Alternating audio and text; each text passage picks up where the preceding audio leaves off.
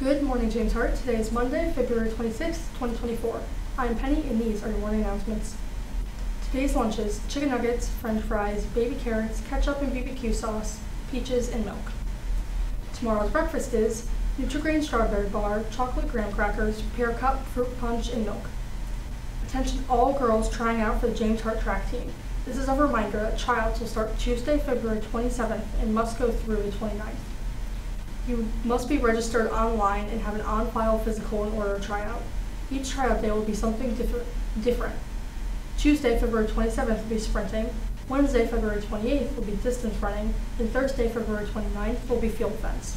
Please be in a sports complex by 2.40 changed with gym shoes on, ready to run with the winds. All students must be picked up by 3.45 by the sports complex. If you have any questions, please see Coach Donahue, Coach Smith, Coach Gladney, or Coach Granado. Good morning, Lady Panthers. March is Women's History Month. Panther TV would like to celebrate by recording a set of student segments about powerful women who have made or are making a positive impact on our society. We have a list of women from a variety of cultural, ethnic, and career backgrounds to choose from. If you would like to be featured on Panther TV, TV for one of these segments, please see Miss C in the Smart Lab as soon as possible to pick up to pick a woman from our list. It's Respect Week at James Hart School. Respect Week is part of being a unified champion school. This year's theme is Respect University. Please wear blue or orange on Thursday. Thank you. Attention Scholastic Bowlers.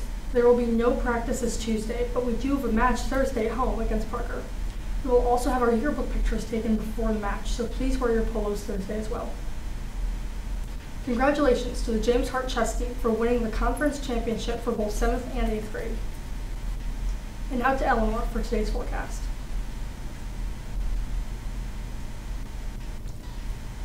Today will be mostly sunny with a high of 63 and a low of 52. Now for the joke of the day.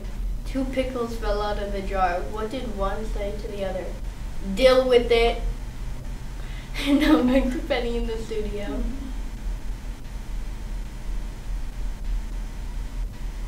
There are no birthdays today. Here's the question of the day. What are some ways to show kindness to your family and peers? And there you have it, Panthers. Please make sure to, sorry, please remember to respect yourself, be responsible, and maintain a positive reputation for yourself and our school. Have a wonderful day.